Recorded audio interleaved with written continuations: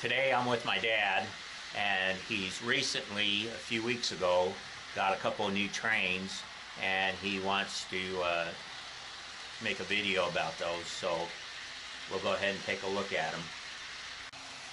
You want to tell them about your new trains you got? Yes, uh, this is the George Bush, uh, and it, it has sound to it.